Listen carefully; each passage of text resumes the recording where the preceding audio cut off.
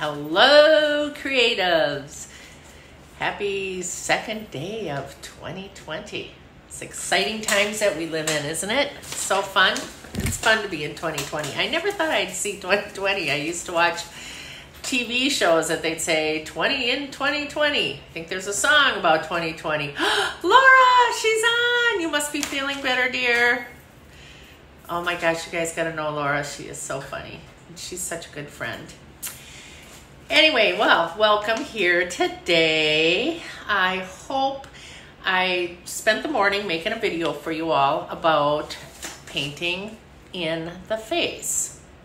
So we did that. We did that this morning and this one isn't quite done, but it is started and I showed you how I go about to get the face. And again, it's not perfectionism. We're not forging anything or anything like that. But I do want to tell you that I do use resources. And so what sometimes I'll do when I once I get my face on, I'll look for resources online or through books that I have or pictures that I have, and I'll print out um, some images.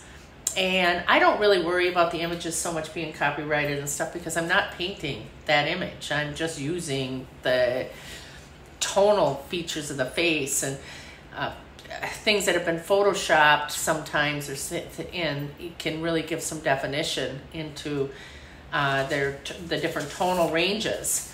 So I might take like let's say for instance a picture like this, and as you can see, you can see where all the darks and lights are. Don't mind my fingernails. I had them painted and they're chipping off. And so you can see how the darks go around here, the darks in the inner parts of the eye. I don't think of them as uh, darks in the inner part of the eye. I think of them as shapes. Like this is a V shape in here. I will make close-ups so that you can check out the nose and the highlight on the tip of the nose. Look at that. That can tell you right there. All you're doing is painting. When you're painting that nose is painting that shape. It's so easy. It really is. And just think of it as easy peasy and you're, you're game to go. I go, this was a fabulous reference for an eyeball. You can just see the color tones in there. You can see where they shadowed. You can see the iris. You can see the highlights, the eyelashes, all of it. Oh, my puppy came in. Now he left. He just wanted to say hi. Um, and I'll take do black and whites. Black and whites are fabulous. Fabulous for it. They are online, Laura. They're up now. All of these images are online, and so is the technique, and so is uh, the PDF of. It's not even really a PDF. It's just my words, just telling me that, telling you not to. If you're going to copy somebody, then you want to give credit to the artist but you're never ever going to copy it perfect. You know, it takes years and years for forgers to learn the artist techniques in order to copy a painting.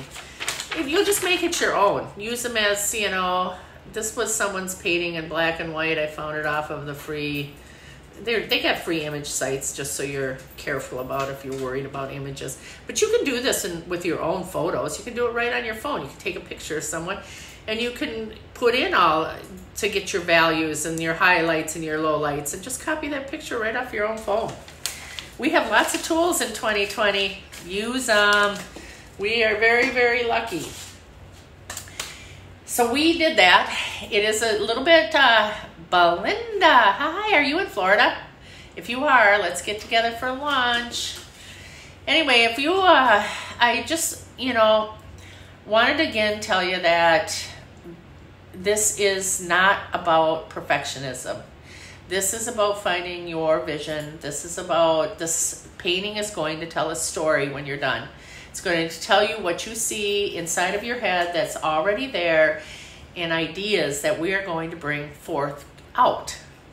And a little bit of an example of that is this I have another painting here today that I wanted to share with you. Can you see her? Okay. All right. Well, She's not really named yet. I've kind of named her. But as you see, there's a lot of symbolisms in her. and oftentimes, what we do in intentional creativity is we'll either write a poem or a story about the painting, or we'll start with a poem and a story. Um, this gal, I've been writing a story about her. Um, she she comes from oh, I would say several hundred years ago, but she lives in a tribal community, and it is near a, a civilized community. And she is often found to be looking out at the civilized community because she really, really wants to be part of that, but she's still in her tribal uh, life. Uh, she lives amongst the trees. You can see there's many trees, the dancing trees. Uh, she can see, she works with color. She loves color. She has a lot of spirit around her. She, um, she's contemplated, contemplative, and she will come with a story if you want to zoom in, and it's really hard to show right now, but I also embellished this painting with what they call crash glass. And if you look around the outside where I painted the roses, the purple roses, I layered that with crash glass. What crash glass is, is it's those little pieces of glass after a car accident that lays twinkling in the middle of the street.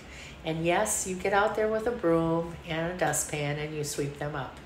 And you can add them to things. And they, because it's tempered glass, they don't cut you. And it adds great sparkles. So if this is out and the sun is hitting this, all around her as she's in that portal, as you see that portal that she's in, all around her is like a cocoon and she is looking out. So she's a lot of fun. Um, she was a fun one to paint. She's actually a favorite of everybody's, which she wasn't really my favorite. So it kind of surprises me. All right, so today, um, all right, well, we painted, the, we put your face in yesterday, and then I made you a tutorial of filling your face in and doing your eyeballs. So if you want to go to Visionary Woman 2020, 2020 Visionary Woman, you will get um, you will get the video for it and you can follow along. I want to tell you also that my daughter jenny is here today and i'm very proud of her. Jenny can you do a little show and tell for us? Yes come on show us what you did. She went home and did homework. She did in her journal. She used a journal and she did her portal and she drew her face in the uh, 20 to 30 step U-line shape, or I should say crescent moon shapes. So I'm quite proud of her. See? Mm, trying. Yeah, so we'll have to send her. I know, Laura, can you believe this? I'm not an artist. I can't do any of that. Is totally. I mean, we all are. We're all creative inside. Then it let's just face the fact. You know, we don't have a choice. So, we won't go into that again. I already said that when gave you the whole lecture on that one. All right. Well, so when I'm teaching a class in an in-person class, I do like to start you out with a um, with a uh, meditation. And I don't really call it a meditation. I call it more of a vision quest.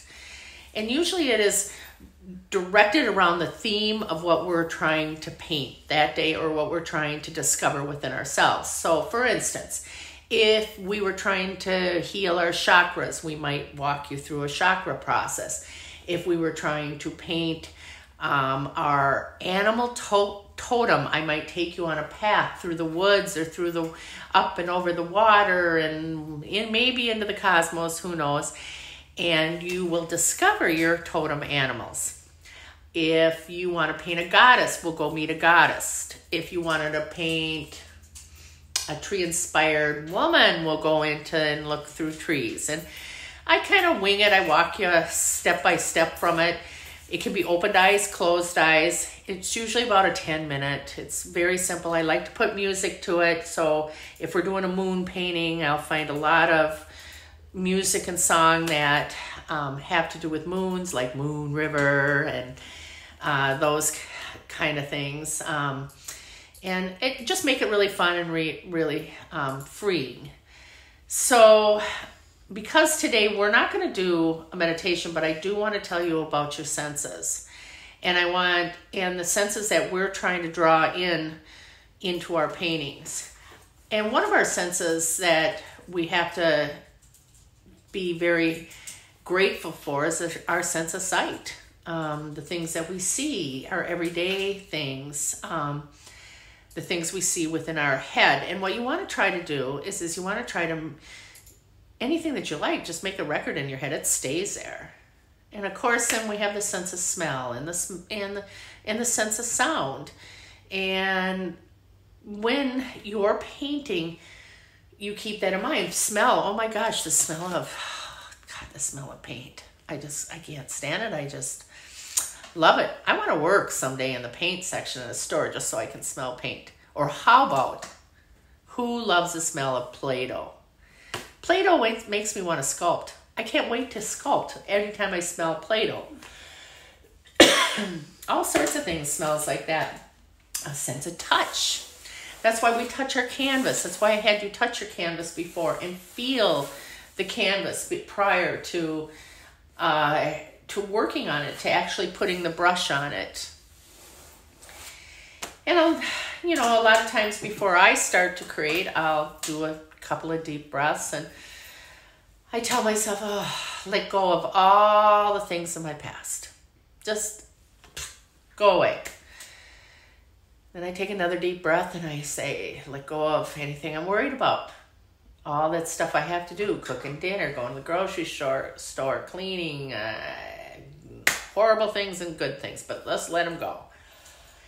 And then I tell myself to be in the present. This is about me, this is about spirit, whatever spirit may be for you. Um, we're not going to go into this. This isn't a religious program. Patty! Oh, I can't wait till you get down here. I need some. We are, got our candles, we got our senses going. This is awesome. We'll have Patty come on one of these days. Patty sells essential oils, Young Living, and they're just fabulous. And she, they're really helpful when you need to be creative.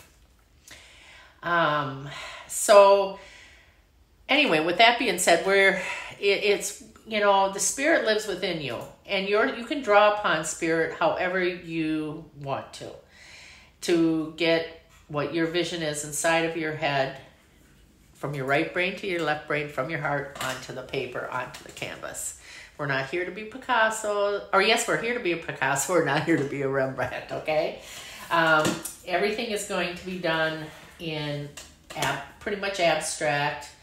Uh, don't be afraid, we're not here about perfectionism at all by any means. I, uh, you know, it takes years and years of practice to have perfect things, and that's not what this is all about. Uh, we'll be using symbols many, many times through, and we're going to draw, which we'll draw here shortly. We're going to draw a, uh, a butterfly, and on the butterfly has a quote. And on that quote, we're going to use that quote to put a symbol or an idea onto our painting. Um, I'm hoping that at some point I can teach you to make paint bubbles. I'm hoping to teach you to paint bumblebees. There's lots of different symbols. And if you want to learn anything, just please private message me and we can do a Zoom class. If you didn't get how to paint the eyeball on here, we'll just walk you, I'll walk you through it. And it isn't going to be a perfect painting, but it's going to be fun. That's for sure. So let's get started. Any other business? I don't think so. Just had to, I explained it and you all understand what. You need to do some breathing and all that? I did the breathing. Oh, I missed it. I was typing she did it again. Online. I think she was sleeping. I was answering I, questions online. I think she takes this time to take her quick nap. Mm-hmm. Anyway, all right, let's get started, ladies. Well, you're at 15 minutes. So, the jar.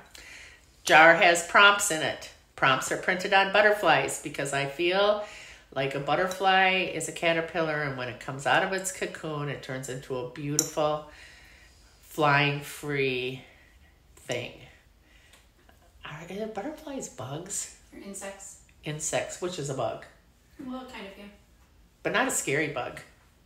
Not a creepy bug. I mean, we all love to have butterflies. I mean, I I've had messages from people that have told me that they think of a butterfly as a lost loved one or has come to visit. We use a bird. We use the blue jay bird as a lost loved one coming to visit. Um, I see myself as been, you know, in a cocoon for the last five years, as most of you know, and that's part of why we're starting this blog. Is it's about healing with creativity and what I have done in creativity to heal and how I have progressed. No matter what you've been through, we've all been through different experiences in our lives. So I'm going to move on because we're trying to keep these short, and they're not very short. So we go in here and we draw. And we pull one out. Butterfly. You do have a printout of all of these butterflies with the quotes on it and with extra butterflies to write your own quote. If you want to use your own, do your own. Um, that's great. You can do your own or you can follow right along with us. We have some of you following along with us, but please, please, please post any questions. Post your what you've been doing. Let's just keep this is our group. This is our group to create, share, and inspire one another. Right, Patty? I'm so glad you're here with us. So glad you're here, Laura. And Belinda was on. I don't know if she's still on, but Belinda is uh, also one of my friends that she uh, lives in both places where I live. on. Ah, hi. on the share my. Okay, because see, we've got several different pages that this is playing on.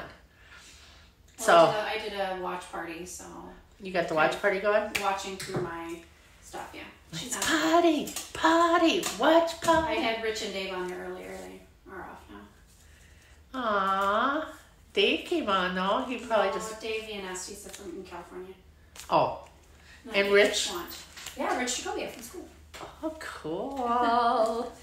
Guys are invited to watch this. I mean, I know that we're calling a visionary woman, and I know they get a little freaked out, but hey, you know, this is for everybody, right?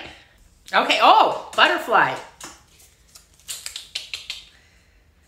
Okay, it says have courage and faith to go through massive change to become beautiful. Wow. After we were just talking about that. Mm-hmm. Huh. Isn't that interesting how you can just pull stuff that just it surprises me every single time. I, I mean, I just pull it and and out something comes. All right, so what I do now because I'm using this quote, I pick out words that mean something to me. So I'm thinking courage. I like faith. We had faith in ours yesterday.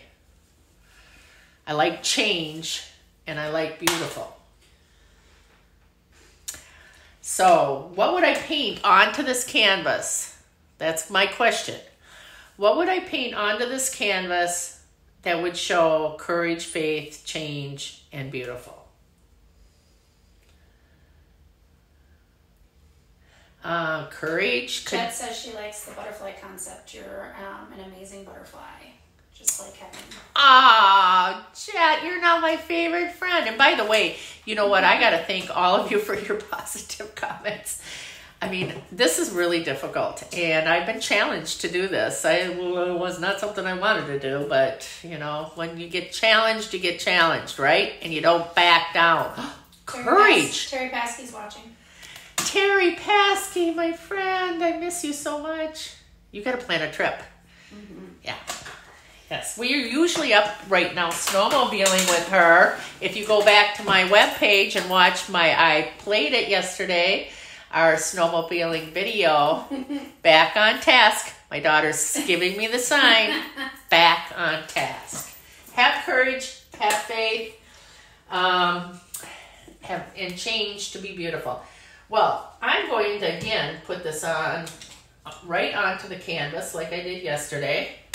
It's with matte medium. I put it on the back side, place it somewhere on the canvas, and I put the matte medium, which works just like glue. You can use glue, you can use Elmer's glue, you can use a glue stick, you can use Mod Podge, whatever you have on hand. You don't even have to put these on your canvas. I, I guess we just started that yesterday. I don't know. Maybe we'll put them all on the canvas. Or, you know what? You could put it in your journal and you could write about this. You could, right? Yep. All right. Courage, faith, change, beautiful. Courage. I could do a sword. And where would I put the sword? Yesterday I did a heart because my friend Di La, Chapelle, she said that the heart is a sign of faith and um, and love and positivity. Hi, Erin. Good to see you. Anyway, well, how about a caterpillar? Where would I put a caterpillar? Mm. A caterpillar. Well, All right, well, see, when I get stumped, no shame in the game. Ha. I pull out all my resources. crawling on a heart. One of my favorite resources is tattoo books. Oh, that's backwards, but and so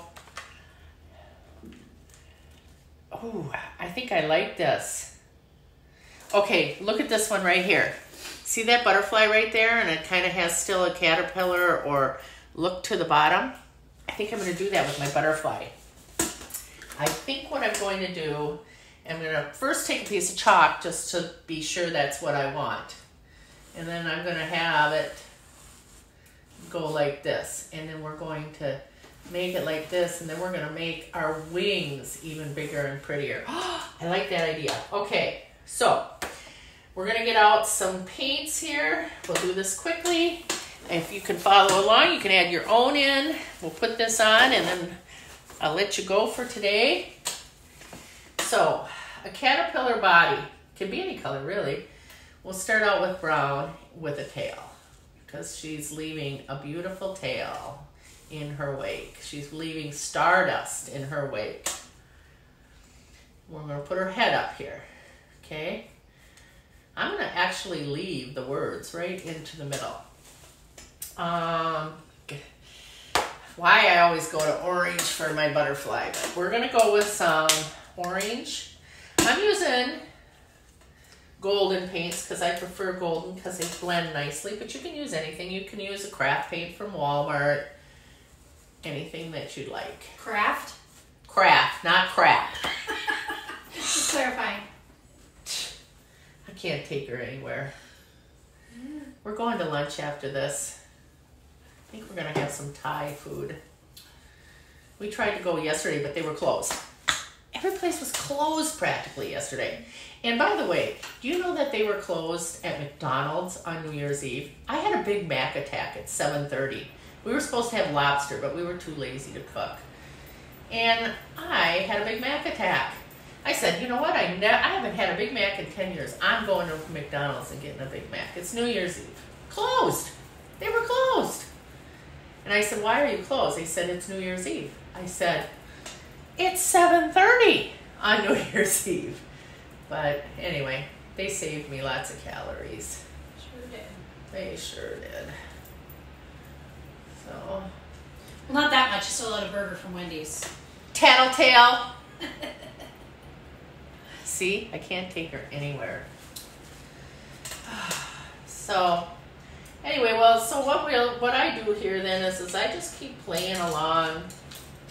Now remember to take care of your brushes. Remember I told you yesterday I didn't take care of my brush, and voila, the poor little thing bit the dust. Maybe not, though. Gloria said you probably can fix it. I know, she said with Murphy's oil fixes everything. So we're gonna put some antennas on. And you know, I'll play with her later. I'll play with this butterfly later. Now, if you want to learn how to do the face again, go into um, 2020 Visionary Woman. You, it's open to all of you, and there is a tutorial on there and exactly how to do the face. So you can watch that. I made it. I hope it's good. My butterfly is flying with courage, faith, and she is becoming beautiful. And I am going to add stars. So there's ways to make stars because she's leaving. It's kind of like my own Tinkerbell with Walt Disney. I told you the story about how I always thought I was going to be the next Walt Disney.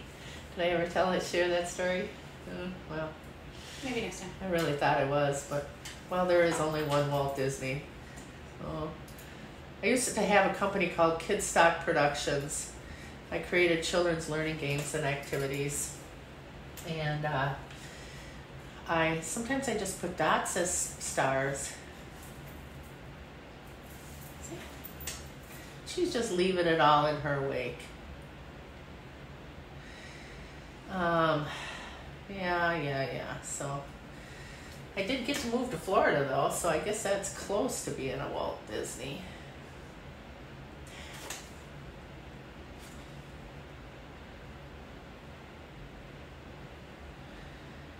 Guys admire?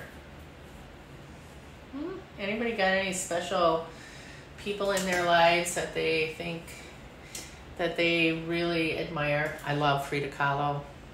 And you know what I like about her is, is that she just wasn't famous. And she just painted what she painted. And she overcame so many obstacles and so much pain. And there's a prime example of using creativity to come over pain and not just mental pain or heartbreak. I mean, real physical pain. I'll tell you what, once I once I start painting, I mean, I have a very bad back, and once I start painting, I totally forget I have a bad back. And I just I go into something somewhere. Where, where are we on time? 27 minutes? Ooh, we only got three minutes left, ladies. And then you'll have to ris- watch the replay. Let's put some, let's put some red in here. I don't know what it is about this butterfly thing. And then of course I love color. I everything I do has involves color in some way or another. I just can't believe you guys come on here and watch me make a fool out of myself. oh. Oh well. In the end, we'll all have a good time, right? So I just keep layering, layering and over layering, and that's how I get that look of the stained glass and and the freedom of it all. So now you can see over the next 20 days how we are adding. We've added the hearts. Um, just to tell you, we've done our, first of all, we wrote our intention. Then we added the portal. Then we added our figure, our visionary woman, whatever that may be yourself. It may be a goddess, it may be someone else, but your visionary woman. I drew a card to get mine, and I drew one that had twins on it. So I decided to put two women in mine, and I thought at first it was going to be because I'm a Gemini, it would be my my inner and my outer self, my evil and my good self, is what my husband says. But now I think it's going to be my daughter and I, because she's been helping me all along with this. So maybe we're doing this vision since we're doing this vision together. And you can see how our story is, is starting to take form onto the canvas. And in the end, we'll have we'll have you'll have your own story. So if you have a journal, if you feel like we're writing in your journal about what you've experienced today or what your painting experience is, it's a great way to record how you're feeling and, and to help you see that vision inside of you and uh, what wants to come out. Journaling is, is fabulous, and you don't even have to be a writer or anything. You just free write, and whatever comes out, comes out. Uh, if you're painting along or if you're painting aside from us, please share in our Facebook group. Uh, tell your friends. Come on, the more of us in here, the merrier, right? We've got a party started, and we're only on day two of this party. We've got 18 more days left of the party. Ah, so, anyway, so we've got the butterfly in there, and we'll see what else everything go happens for, with tomorrow. I'm going to lunch. Then I'm going to dinner at my friend's house. And by the way, Patty, guess what? I'm going to Wayne and Rhonda's for dinner. Na na na boo boo. So we are going to have fun tonight. Uh, we miss all of you that aren't here with us. And uh, we'll see you again tomorrow. I hope. Hope. unless I chicken out. And then see this other visionary woman right here, my daughter. She can do it because this is really hard. Anyway, uh, same bat place, same butterfly place, Sure. same butterfly channel. And let's spread our wings, lady, and let's go out and make a difference in the world. Anyways, love, sending love to you all, and we'll see you tomorrow. Uh, send me messages. I love responding on our Facebook page, and I love what everybody's putting so far. Alrighty, see you later. Love to all of you. Bye bye.